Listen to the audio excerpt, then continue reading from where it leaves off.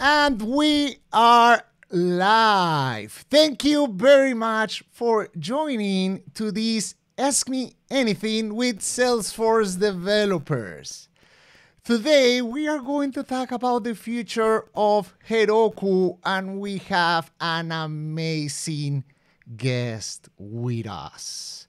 My name is Julian Duque. I'm a principal developer advocate here at Salesforce, and today I will be your host. But before we start, I have some announcements.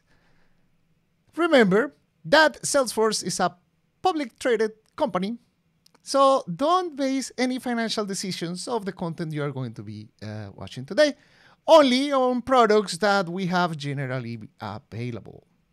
Also, join our Trailblazer community. We have a developer group on our Trailblazer community. You have the URL there. Please go ahead, join us. We have a lot of people also interested in learning about Salesforce and also on Heroku as well. And use the SFDevs AMA hashtag on Twitter if you also have any comment or question for us. Please here on the chat in YouTube, that's the place where you are going to ask all of your questions about the future of Heroku. And now, with me, I have a great, great guest, Mr. Andy Fawcett. Hello, Andy. How you doing? Hey, I'm doing well, Julian. Very pleased to be here today and answering all of your questions. I just can't wait to get started. Thank you so much for inviting me. Awesome. We are super, super happy to have you here. Andy, thank you very much for your time. We know that you are super busy. You have a business to run and a lot of different things on your plate, but thank you for taking the time to joining us and to joining this amazing Salesforce developers community to talk about the future of Heroku. I have Heroku in my heart. I love Heroku. Uh, pretty much that's the main reason why I joined Salesforce. I enjoy. I joined as a developer advocate for Heroku, and then I had the opportunity to know about the whole Salesforce ecosystem, and I still have Heroku on my heart. So this episode is super, super important for me. Andy, thank you, Julian. Please introduce yourself in your own words.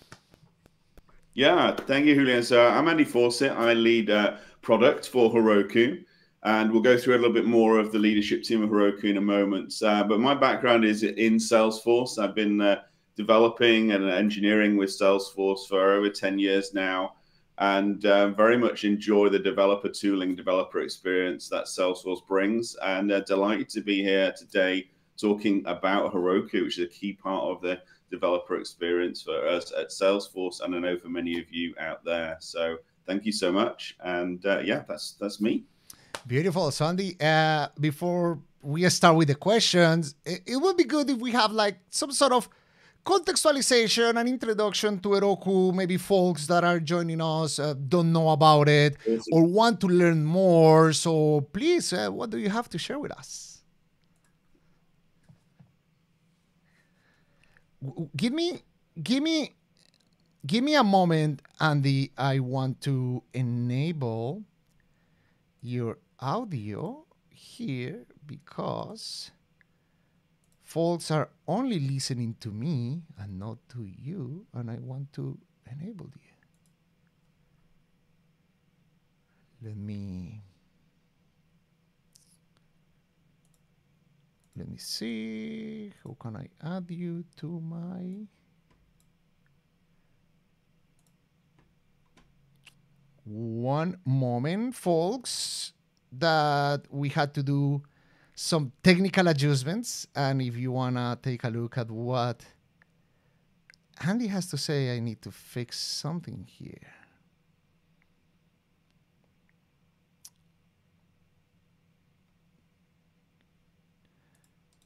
Give me a moment.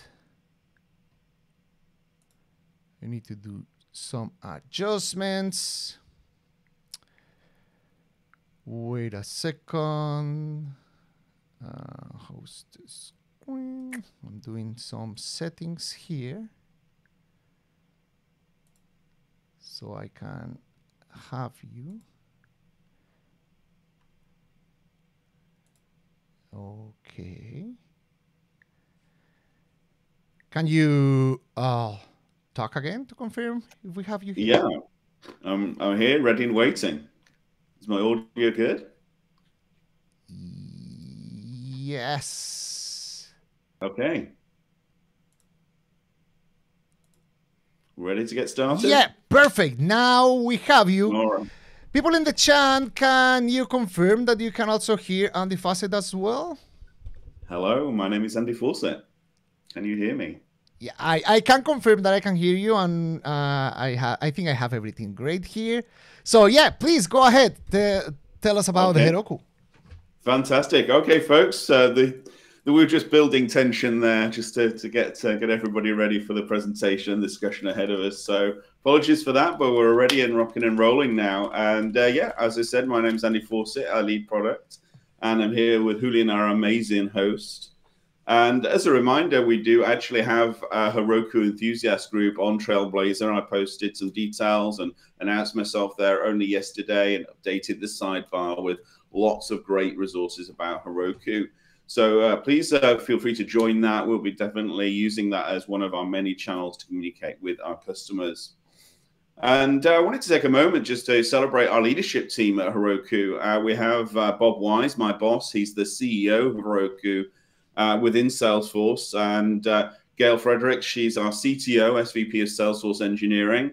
And myself, of course, there. And Avish is also leading our architecture. So many of us are, in fact, all of us are on LinkedIn, and you can see also our Twitter handles there. So uh, we're a very open uh, group. You're very welcome to connect to us in your favorite channel of choice, even Trailblazer community as well. And I just thought it'd be great for you to meet uh, the broader leadership team behind the amazing Heroku product. Uh, one, uh, actually, a little bit of um, side uh, commentary I'd like to give you is on this opening screen, uh, you saw the Heroku logo. If you look closely, that's a 3D printed Heroku logo. And that's actually 3D printed by Bob himself. So there are a few of them in circulation and uh, quite a steal to get hold of a 3D printed Heroku logo indeed. So thank you, Bob, for creating those. And I'm sure we'll be seeing a few of them in the future as well. So Heroku's vision is a trusted premium platform to build and run mission critical customer engagement applications, web, mobile, API applications. And we want to make sure that is the trusted, secure, and reliability that you've come to expect not only from Salesforce, but also from Heroku as well. Those critical workloads run 24 7 all around the world, and we want to make sure that continues to be the case for our customers. We enable customers to build integrated applications at scale using languages of their choice, a super powerful feature of Heroku we're talking about in just a moment, while offering a world-class developer experience that's easy to learn, um, but also very powerful for advanced users when you need it. So 2022 is a year of uh, significant uh, investment for Heroku. We invested a lot in our mission criticality in terms of our infrastructure, our security stance. We also launched our amazing public roadmap. We're going to talk a lot more about that in a moment.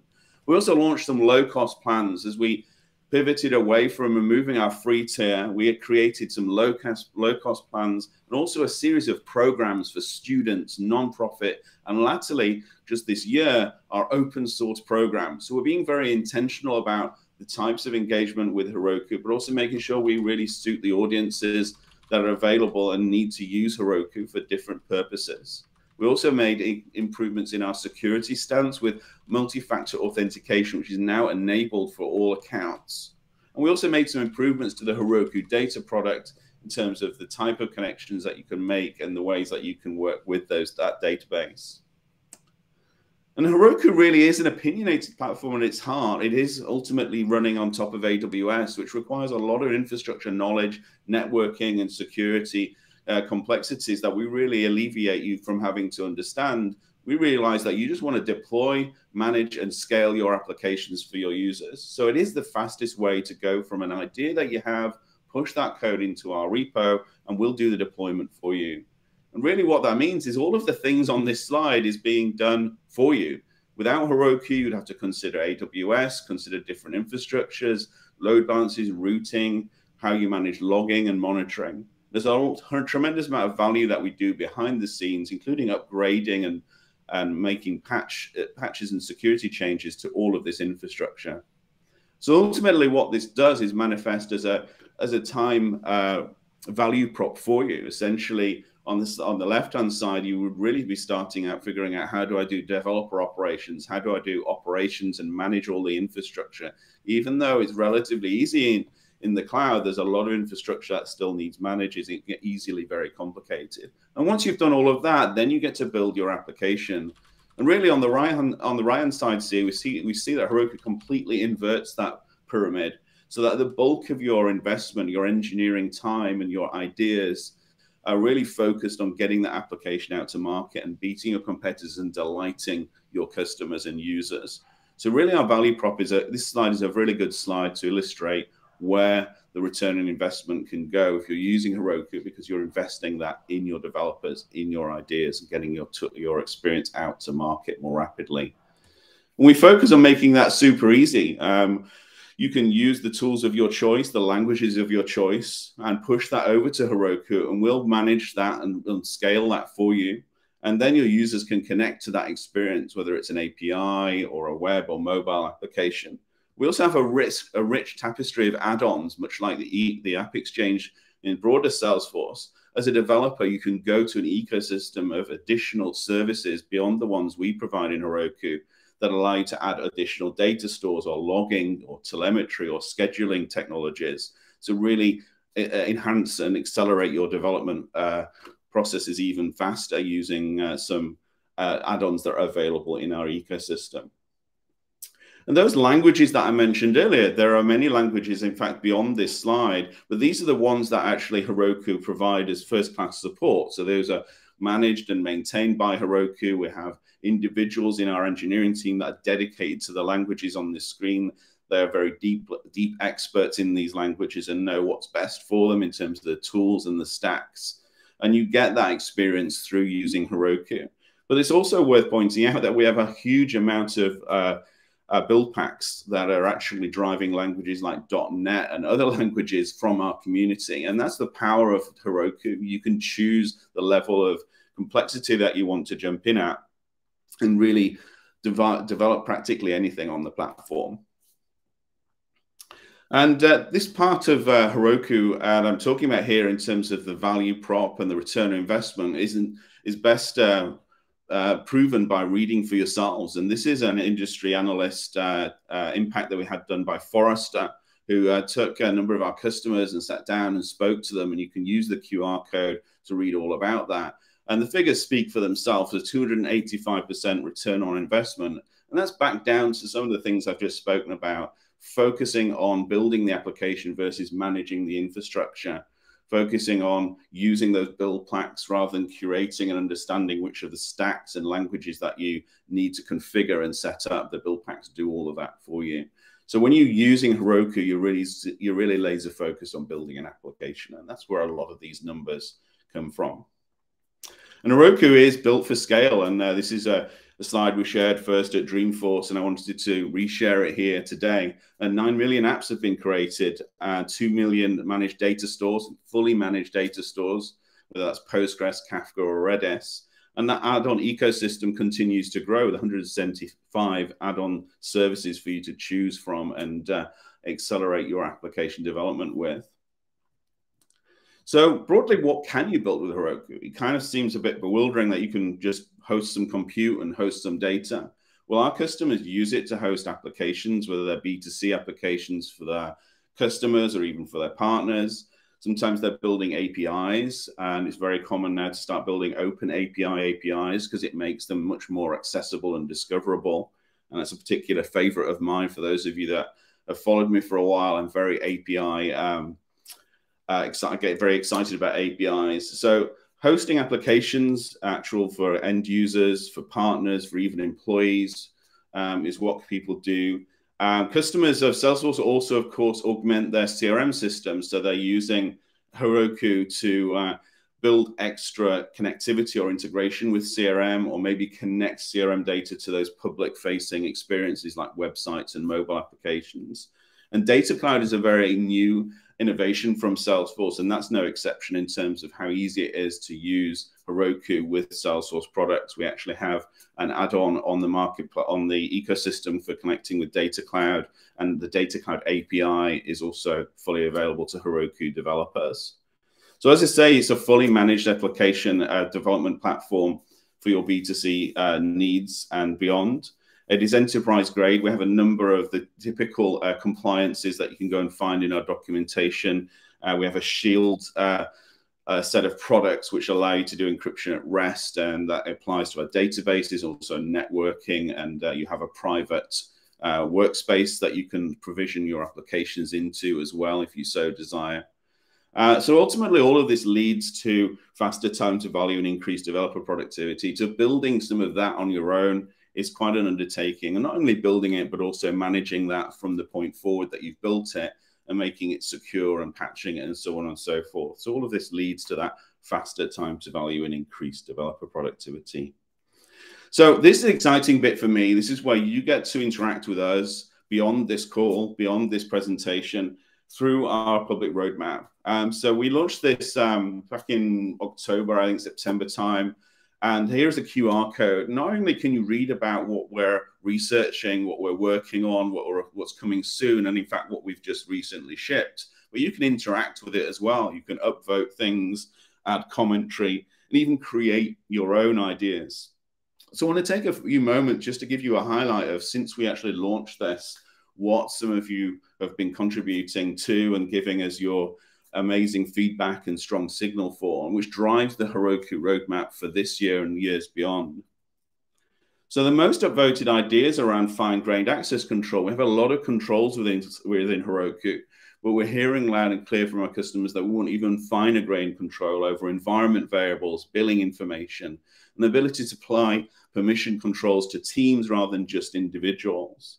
Larger Postgres and Dyno stores. Our businesses are growing, your businesses are growing, and it's important that the ability to scale more data and scale more compute grows with it. So we're hearing more memory, faster CPU and storage, and we're actually addressing a lot of that this year in our roadmap. Network modernization, HTTP 2.0, IPv6 are also very common. You can see, in fact, uh, number two in this little screenshot on the slide here more ability for those in education and learning and nonprofits to engage. As I mentioned earlier, we have started plan, uh, programs for those, and you can find out more about those. We'll share some links after this programming. And uh, we want to continue to invest in those type of programs, including also playgrounds for you to experiment with Heroku uh, and students as well. Without credit cards is something that we're looking into. We've heard it loud and clear that that can be a challenge for sure. So we're definitely researching that and teachers. Now, GitHub integration is also something that's a strong part of Heroku. We allow you to connect your GitHub repos to our pipelines whenever you promote something or push it to your GitHub repo. That can trigger a pipeline that will take that through to a kind of review app and then staging and then production in a typical sort of way. And that's a very powerful feature of Heroku we call Heroku Flow. The customers here, are, you're all asking for well, can we do that with the GitHub app model, which is a, a new, a newer way of connecting to GitHub beyond the current mechanism? So some amazing signal we're getting from you, our customers. Thank you so much for all of this. I also wanted to cover some very relatively recent ideas. It continues to be an area of engagement for you. It wasn't just at the big at the time we launched it. It continues to thrive, which is exactly what we wanted to see. So paint more things purple. What do we mean by that? Well, we have an idea from an individual that talks about, well, we've got a relational store, we've got a caching store, we've got a message store. What about a kind of NoSQL store? What would that look like if it was fully managed within Salesforce, within the Heroku infrastructure uh, by Salesforce? More controls over resources. We kind of covered that on the previous slide. Review apps are a very powerful capability for for Heroku, and they enable you to engage with your internal stakeholders once you've developed your web app and you're ready to push it out to production. We, of course, uh, follow good practices here and go through staging. And part of that is to create some applications that mimic the production environment, but in fact are controlled and managed just for review purposes and get that feedback. And if necessary, you can go and make more changes before pushing to production. So more ways in which you can pass some of the source control context into that experience so you can better tie where you are with that experience and what, what's happening in source control. And also the resources that we fire up automatically during that review app process, more control over those as well as being asked for. And Salesforce integration, we've got an amazing product called Heroku Connect, which allows you to synchronize data from CRM into a Postgres database, which enables you to do more scale, use your Postgres skills, and even augment some of that data going back into Salesforce using that synchronization tool we call Heroku Connect. But really, what about the compute side? That's a really an area that we haven't really focused on in the past. So the notion of a Salesforce add-on allows you to spin up a Heroku Dyno where you put your compute, your code, and much as you've seen with Salesforce functions, have that already pre-authenticated into your Salesforce environment uh, where you don't have to reason about connected apps and OAuth tokens and such like. You simply install a Salesforce add-on. Many other things are continuing to be add, added to our roadmap. So hopefully you get the idea. Amazing resource. Please engage with us on that. And I want to just talk a little bit about what our priorities are right now. Infrastructure continues to be beating heart of the value prop of Heroku, and you've heard that through what I've just mentioned over several slides. It's clear that we're making sure that we're doing the hard stuff so you don't have to. And I want to call that out because that's really important stuff. Sometimes you don't see that. Sometimes your dynos just start running faster. We talk a little bit about that on this slide, in fact. Sometimes you just know that we're doing the best things we can do to av avoid nefarious use of Heroku. So we have a lot of investment in anti-abuse. We're also, as part of that, investing in technologies like Stripe under the covers to make sure that the billing and infrastructure is the best possible experience that we can deliver. And we're also delivering additional availability zones for private spaces as well. So we've got more durability in the system. And also, uh, another thing that's happening for us is we're continuing to evolve, evolve how we ourselves use AWS and that technology. It continues to innovate, and we should continue to innovate our use of it. And that ultimately allows us to spend more, more of our engineering resources building amazing features rather than managing that AWS technology. But it also allows us to take opportunities to look at the amazing AWS technology and think of ways we can provide that in a simpler, more easier to use form. Still many, still very powerful, but easier to consume and easier to integrate within your applications as part of the overall Heroku experience. So for pricing and packaging, we're delivering new dynos and data offerings this year to allow you to grow your compute and grow your data beyond the current uh, packages that we have.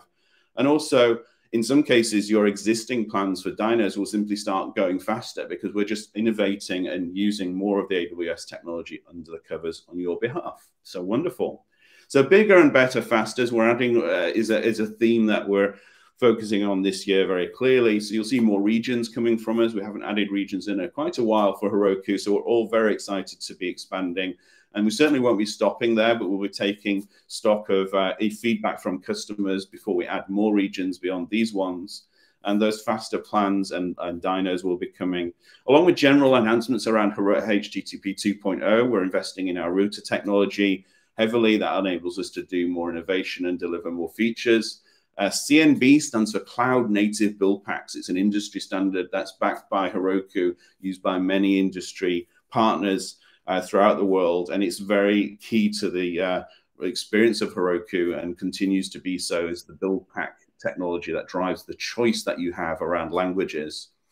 Uh, we will continue to improve um, our dashboard UX and accessibility improvements. These are heavily used experiences within Heroku, and we want to make sure that we're constantly uh, refining those and uh, shaving off any rough edges and making those the best experience possible.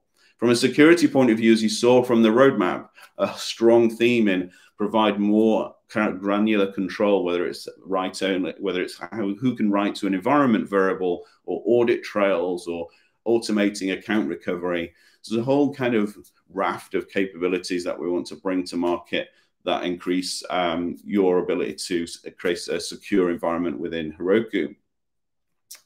And going to the future, um, we see that in, in, in Heroku's um, history, we have really uh, two experiences to some degree. There's a huge amount of overlap, but we have those that are using Heroku through the online service, signing up, paying a credit card, and those from a Salesforce perspective that are using the contract-based uh, model uh, so become a Salesforce customer and have a contract with us. What we want to do is make sure that there is one Heroku experience. And regardless of how you want to transact with us, you have access to all of those features. And more so in the future, do that in a consumption billing model. And Heroku actually does that for its credit card uh, customers to some degree with dynos and such like. We want to maybe expand that to the whole of Heroku and including our partners as well. And data compute is no exception to that. If you want to use data we want to make sure that that can grow elastically with your needs with the right controls in place, where you get a consumption based model for your data and compute needs. And going forward, we realize that the world is getting ever more focused on AI and how can we help uh, manage uh, those workloads for those that are delivering innovative solutions around GPT? How can we provide dyno types on GPU, CPUs that allow you to run more of those workloads on our system? Uh, equally, we want to use some of that technology in the developer experience as well. And bill of materials is another industry trend that we're observing and monitoring. And we noticed GitHub recently announced some of technology around this as well. And it comes down to governance. When you're building applications at the scale you are with Salesforce and Heroku, it's important to know what software is being used, what libraries and open source tools are being used. And the bill of materials provides you a way of tracking that, monitoring that, and controlling that.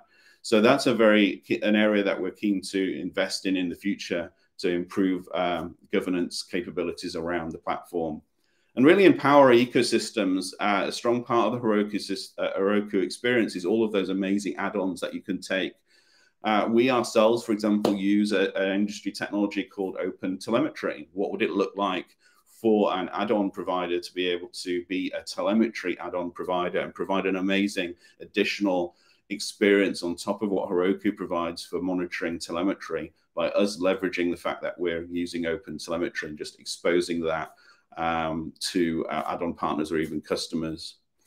And finally, Salesforce integration. We mentioned that earlier when I went through the roadmap, really talking about Salesforce integration beyond just the data integration. What would it look like to be able to um, send and receive uh, pub, public uh, events, platform events from dynos? What would it look like to be able to access data from CRM and data cloud from your compute environment? Again, much in the similar vein that we've shown is possible with functions, we're doing that also with dynos as well. That's that Salesforce add-on experience that I was referring to earlier. So hopefully uh, this is a, a really exciting uh, first chapter for Heroku. There's much more to come for the future of it. We have a really strong leadership team that I've already explained. I'm very passionate about the space, as you hopefully can tell. So let's, without further ado, get into some Q&A and discussion. And I think right now I'm going to stop sharing and that will reveal myself once more to the camera.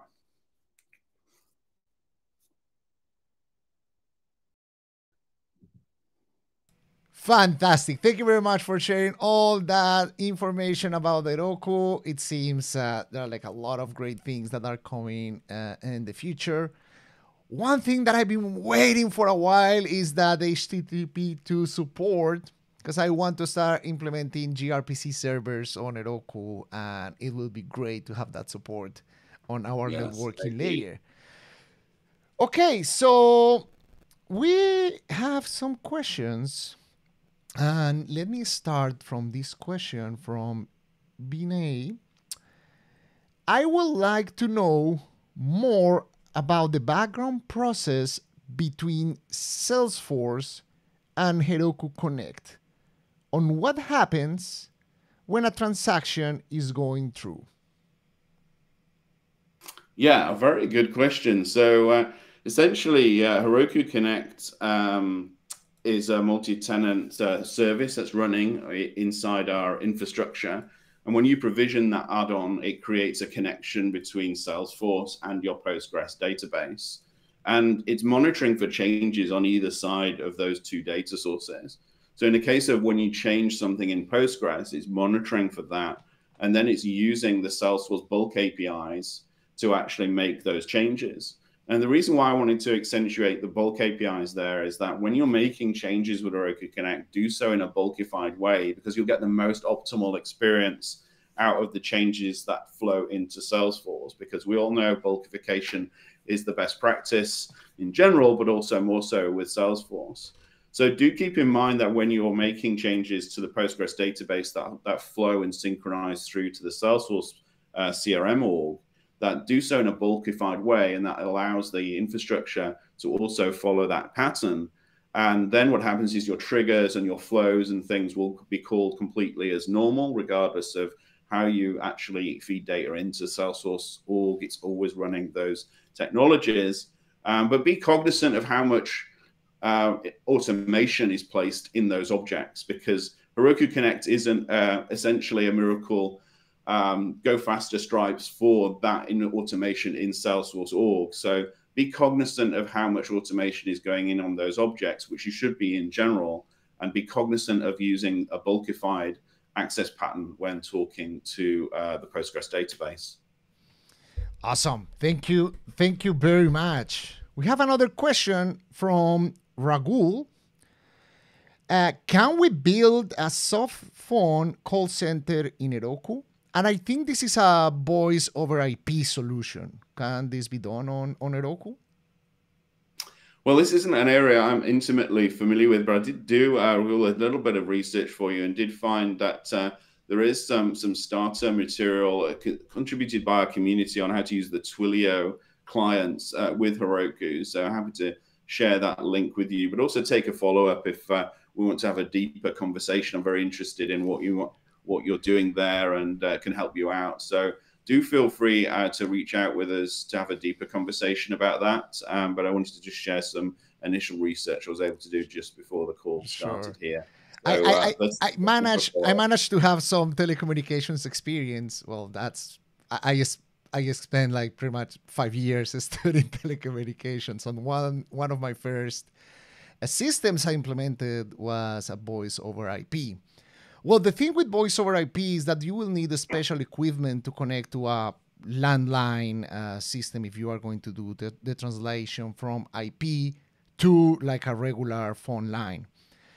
So in this case, what Andy mentioned will need to be like the answer, like rely on a third-party service that provide that gateway between IP and uh, and a landline uh, or a phone line uh, service.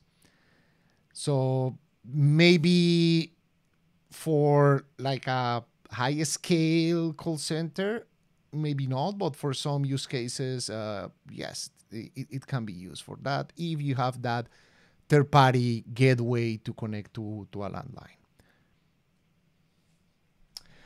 I have another question from Andrew Raymond. Uh, I thought Salesforce was going to deprecate Heroku. I'm confused now. Uh, what's going on about that? Andy, tell us.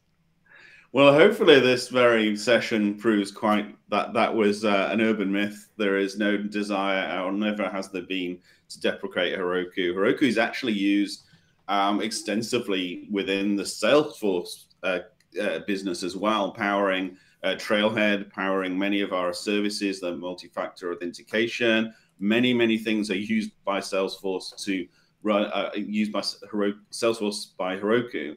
So not only do we have a huge amount of internal um, motivation to continue the Heroku, but uh, we have a, a, huge amount of customer um, adoption that's using both Salesforce and Heroku to build great, amazing B2C experiences for their customers. And we fully continue to uh, want to charge forward in that direction and even go beyond uh, Salesforce customers and, and really provide the, the world's best place to build compute and data um, based um, experiences on the internet. And uh, that's the truth of the matter. So we are 100% here and not going anywhere. Beautiful. That's good to hear because I rely on Heroku a lot for the projects I build internally. And also, if you have followed me on Code Live, where I teach uh, how to like develop applications in Salesforce, I use Heroku a lot. Question from Tech Lead. Uh, Tech Lead is one of those folks that always join my stream, so thank you very much for joining this one as well. Thank you, Tech Lead. Uh, is there any official video channel for Heroku to follow, like uh, the Salesforce Developer One? Um, there was, and there will be soon. So stay tuned on that. And that is something that we're uh, working to reinvigorate and restart. And I know Julian uh, is involved in those conversations as well. So watch this space. We will be broadcasting news of that on our Trailblazer channel, on Twitter, on LinkedIn, as and when that's ready. But yes, there is uh, a strong desire to reignite that type of medium for engaging with our customers. And we did that many, many years ago with Heroku. It was very popular, and we fully intend on reinstating it. Yeah. In the meantime, all of the videos that were published on, on, on the Heroku YouTube channel are now under the Salesforce developer channel. So the story is there. You can like go ahead and search for Heroku content and you will find it there. And as developer advocates and Salesforce developers as well, you are we are always creating content with with Heroku included as well. So you can find content on both. But yes, thank you, thank you very much, Andy, for your answer. And now a question from Jeff. Is there anything new with the ability to stand up a public facing site to a Salesforce backend? All eight places I have worked with need this. Yeah, so ultimately, um, I think Julian, uh, in these resources, we've got our eCars demo GitHub mm-hmm. repository, which shows how to stand up a, um, a, a Heroku Dyno, a web app. And it's actually in this case, although you can use your choice of client web frameworks using LWC. And uh, there is a demonstration. It's actually a car dealership is the use case and scenario and that individual or customer rather is using that to tailor the car that they want to purchase and that experience then flows into the salesforce backend to the point that when individuals actually there picking up the car maybe they're making some tweaks that same experience flows through into salesforce so definitely check out the eCars demo but in, in a general architectural sense um, Heroku is able to leverage uh, connected apps uh, which is an OAuth mechanism for or securely connecting through into Salesforce.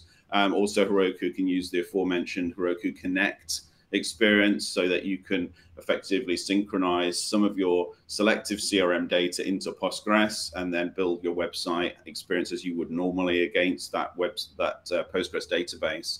So you have a number of ways of connecting both a data um, a data connection through to CRM as well as uh, compute. Um, some customers also use the platform events technology um, as well to make that more event driven. Um, we're actually working on uh, uh, enhancing our resources in this area. Uh, we have to share a link of all of the ways in which you can integrate with Heroku and Salesforce as, as an output from this session. Uh, but I'm very much aware that we're we're lacking some uh, more uh, tailored experiences explaining how to do that with compute uh, integration and connected apps. So we are actually actively working on it, uplifting some of the how-to materials there. But if you're familiar with the OAuth technologies and connected apps in Salesforce, then you can absolutely build web experiences that do that. If you're familiar with Postgres and you can provision Heroku Connect and just start synchronizing that data, it's a point and click tool to enable that. So lots of ways in which you can uh, integrate not only with CRM data, but ultimately uh, Data Cloud's API as well. Beautiful. Yes, connected apps is going to be your gateway to access uh, Salesforce. My preferred ways, besides Heroku Connect, Heroku Connect is so straightforward. Pretty much, I don't need to set up anything and it works. But the other ways that are more programmatically that I like, uh, using the REST APIs, it's straightforward. I just make an HTTP request to Salesforce API and I get data. Second, we recently added support for GraphQL UI. So you can use GraphQL to query Salesforce data. And there are like multiple different GraphQL clients for the languages we support at Heroku. For Node.js, for Java, for Python. So you can build an application using those GraphQL clients and fetch data. Uh, with the PubSub API using gRPC on a Node.js application, for example, you can also get uh, real-time information from uh, Salesforce. If you go to the Trailhead Apps GitHub repository, the eBikes LWC sample application has a PubSub API use case that uses Heroku. So we deploy an application on Heroku that is connecting to Salesforce using the gRPC client and getting events pretty much from Salesforce Very as well. Cool. There are like multiple ways you can rely on, on, on Heroku to connect to Salesforce. Lightning Web Components as well. Uh, with the Lightning Web Runtime, you can deploy anywhere. You can deploy Lightning Web Runtime applications to Heroku. You can take a look at the Lightning Web Components open source recipes. I think it is shared on the resources we are going to share with you all. And you see how can you easily, with just a click, deploy that uh, repository to Heroku and use the power of Lightning Web Components as well. So there are multiple ways to connect Salesforce technologies with Heroku. Thank you very much, Andy. We have some certification questions. People are always interested in uh, growing professionally, and certifications is one great way to do so. So this is from Jeff. Are there any new certifications for Heroku plant? I prepared for the exam and failed, but I didn't see the use case for the material for the material covered. It didn't seem like knowledge that will help me build applications. Yeah, thanks for your uh, question there, Jeff. And, and certainly apologies that um, we seem to missed the mark there in terms of the content uh, needed for you to prepare for the exam. Uh, we are actually taking a, a, deeper look at the content for the certification. Uh, there are no plans for a new certification, but I think it starts, and clearly your feedback here um, is an example of that for us taking a deeper look at the content and what we're asking folks to learn, and also the questions that we're asking. So thank you for your feedback, and um, let's connect offline. I definitely want to follow up with you in more detail on that. Um, apologies for the content miss there. But rest assured, it is an area that uh, we're looking into in terms of, uh, or actively already looking into in terms of uh, making sure that's the best experience. Uh, we really appreciate the certification program, of course, at Salesforce, and even more so the Heroku one. So thank you for your question. Thank you, Andy. And another one from Binay. Uh, are there any Heroku certifications available apart from the architect one? Uh, not at present, no, but that doesn't mean to say we couldn't create them. I think part of the aforementioned sort of effort that we're putting into sort of reviewing them is to see whether or not we should have more granular or multiple uh, certifications. So certainly want to hear, and the, and frankly, the roadmap uh, link that I shared is not just for product features; it's the overall Heroku experience. So if you have desires um, around the certification process, then you can absolutely raise them in the public roadmap as well. And we will consider them just like anything else. Um, that roadmap's for the entire Heroku experience, the documentation, add-ons, certifications in this case. So please, please share your feedback. It will help us an awful lot right now in terms of uh, what we're doing in terms of, of reviewing the, the certification process and content. Awesome. Thank you very much. We have another question here. As an ISV of Salesforce, this is from JP. As an ISV for Salesforce, I use I'd like to use Salesforce functions with my App Exchange application, but I need a playground to experiment with it. It is that possible? Yeah, so we don't have a Salesforce, um, a self-serve rather playground. Um, as you saw in my slide deck, that's certainly something we're uh, researching in terms of customer demand for Heroku, not just functions. Um, but in the meantime, if you do want um, an environment to play with as an ISV, please reach out to your ISV manager and they can connect with us and uh, we can follow up with you on that to, to, provide you such an environment. Unfortunately, there is no self-serve for that at the moment, but uh, we can provision that for ISVs as needed. Uh, I would also mention that Heroku in general is a good uh, back-end technology for App Exchange packages, and some of our ISVs are, have been doing this for many years. So it's obviously well known that you can create a connected app or a um, external service within Salesforce for integration purposes, um, and you can package those. You can also then, of course, point those to a Heroku experience that you're running for those um, ISV packages that you're distributing. So while you can't distribute Heroku itself within the packages, you can create a Heroku service, an API, an open API API that's aware of the context of your um, uh, subscriber orgs. And some of our ISVs are doing that already. And it's an area where we're thinking about more uh, written material and how to's on. But uh, I will point out that as an ISV, there are instances of ISVs using Heroku as a backend to their packages, despite it not being packageable. Beautiful. Uh, another question from Binay. Like Salesforce, can we have a developer version of Heroku to learn and to do uh, research with Heroku and Salesforce? Um, this is something that's very close to my heart, and I know Julian's as well. I can't see him on camera right now, but I suspect he's smiling with a big. I am. I am. Thank you. Thank you for the ask. Uh, there isn't anything in the roadmap right now, but we are actively doing research and discovery in terms of what it might take to do that. Obviously, we want to do that in a safe and secure way, um, and that doesn't kind of further abuse of the platform and the services. So this is a very sensitive area for something as powerful as Heroku, to be transparent with you. Um, but I also fully appreciate the reason why you're asking.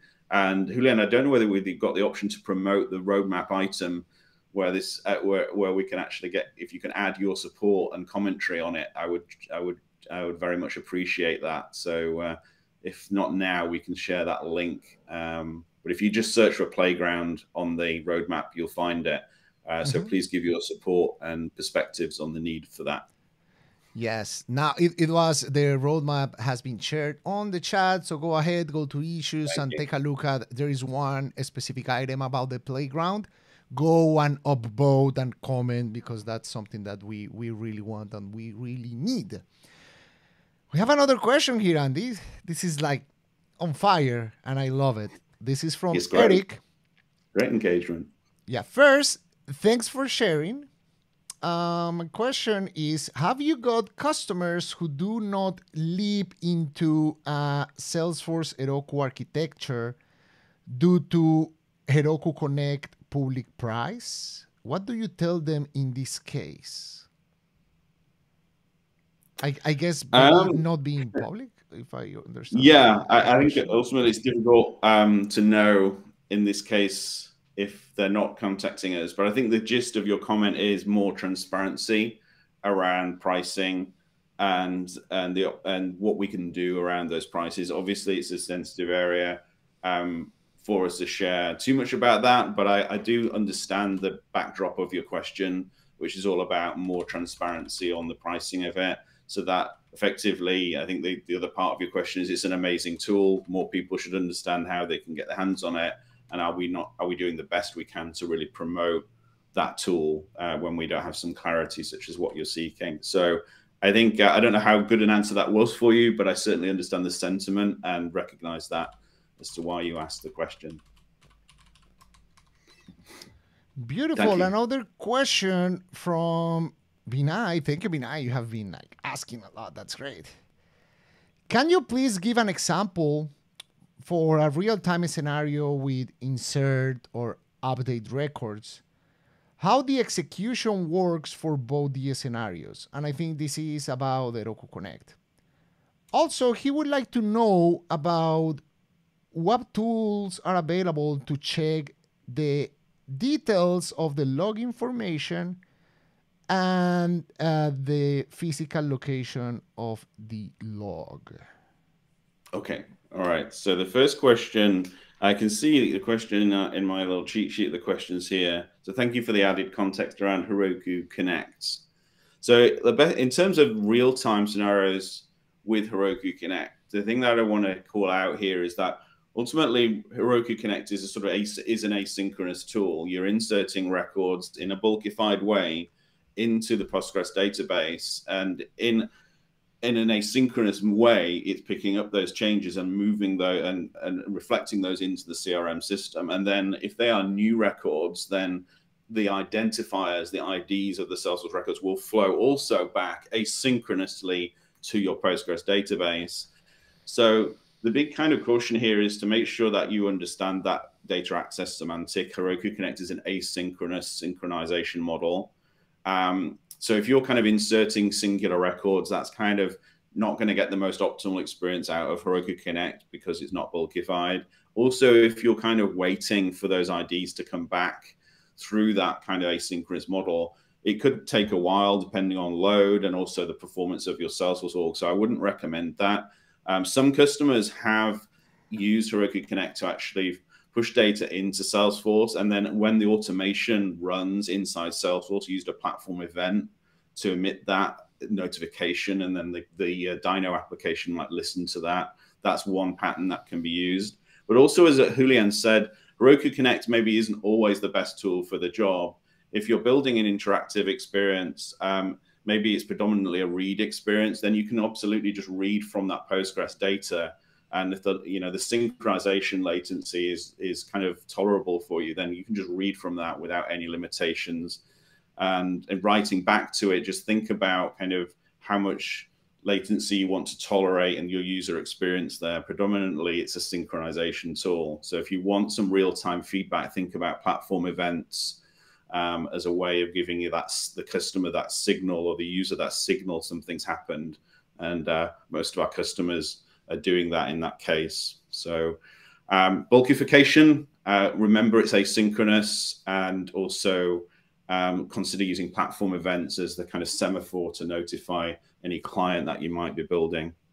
And also just depending on the the scale of the client, you may just be using the Salesforce REST APIs, as Julian pointed out. You might not even need Heroku Connect. So you can always just connect using a bulkified um, mechanism with the Salesforce APIs from your Dyno. And maybe use Redis to cache some of that information as well. If you're doing a lot of reads to Salesforce, maybe cache some of that commonly used information. So think about the type of app you're building. If it's a very interactive application, I would lean more towards maybe using Postgres as a read-only cache, Salesforce APIs for the interaction. If it's kind of headless synchronization integration, then Heroku Connect is great for that. Fantastic. Thank you. Thank you very much, Andy. And we have another question from Andrew. Will Heroku Connect be adapted to support the future NoSQL database that was mm-hmm. mentioned on yeah first of all first of all thanks for the thumbs up on the recognizing the NoSQL DB call out there head on over to the roadmap and give that a thumbs up on painting that purple if you like as well and um, yeah I think uh, ultimately Heroku Connect um, is a great tool it's clearly only focused on RDBMS databases there's no plans right now but I certainly wouldn't rule it out subject to customer feedback and demand uh, for expanding that to other data stores. It's, there's a lot of value in uh, the, the Connect experience being declaratively driven. It's point and click. It's easy to set up. There's also a lot of really clever drift detection that we're doing inside Heroku Connect to keep things synchronized as much as possible. So it's actually pretty hard to build these type of things. So to the extent we can extend the value of that to other databases, I'm certainly uh, very interested in further uh, customer feedback and signal on that. So no plans, but I'm not ruling it out. Awesome. Yeah, and and I see one thing in regards of many of the NoSQL databases that are uh, pretty much schemaless. They they don't have a specific schema. Maybe doing the mapping between those two uh, things might be a bit difficult. With Postgres, we have a specific schema, mm-hmm. and we can do like the one-to-one mapping with with the Salesforce data. Yeah, certainly it would need some form of descriptor. Um, interestingly enough, uh, Salesforce itself has uh, some of the Marketing Cloud objects backed by NoSQL um, database. So mm-hmm. it's kind of possible to create a relational layer on top of a NoSQL database. But you're absolutely right, Julian. We would need some form of descriptor around that data in order to make that connection. And, and some of the semantics would change as well since it's inherently non transactional. Awesome. Thank you very much. And wow, time flies. That's that's time flies when you, we are like engaged and we have like like such interesting guest.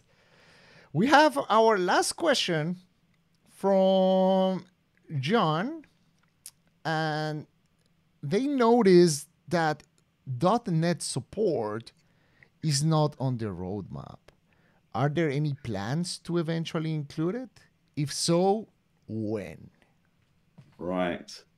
So again, I, hopefully uh, Andre, uh, one of my product managers, is deeply passionate about this topic and this language is is listening and smiling and grateful for the signal and the request you've given us.